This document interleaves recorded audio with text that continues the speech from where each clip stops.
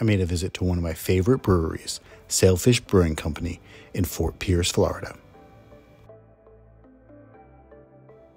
When you head inside, actually, before you head inside, there's a huge outdoor area which has plenty of seating as well as an outdoor stage for live music. Okay, now as you head inside, it's very spacious.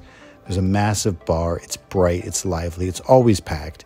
There's plenty of big tables for large groups or tables to share.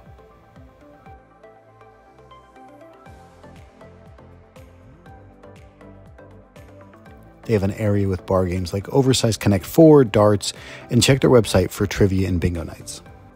They have lots of cold beer to go and some of the best merchandise I've ever seen at a brewery. They have so many great hats and shirts.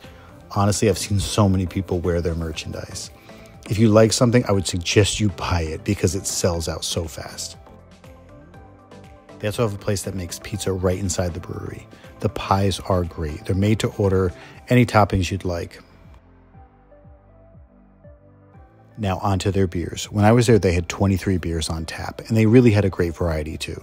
Lots of lagers and other easy drinkers. They had a good selection of IPAs and a trio of delicious stouts, a few sours, and even a hard seltzer and a hard cider. Their beers are always changing. They have so much variety. In my opinion, this is one of the best breweries in the Treasure Coast area. If you're in the St. Lucie, Fort Pierce area, you have to make a visit to Sailfish Brewing Company.